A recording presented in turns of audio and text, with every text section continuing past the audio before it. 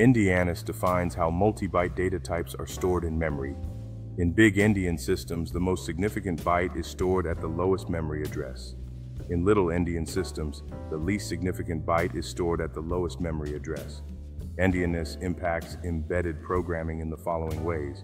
When exchanging data between devices with different endianness, byte order must be adjusted to ensure correct interpretation. Incorrect handling of endianness can cause issues in memory-mapped peripheral access and data processing. Many communication protocols define a specific byte order, often big endian, requiring explicit conversions. Portability issues can arise when software is moved across architectures with different endianness. Handling endianness properly is crucial for developing robust and portable embedded systems.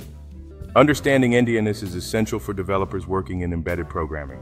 This knowledge helps in ensuring data is interpreted correctly across different platforms.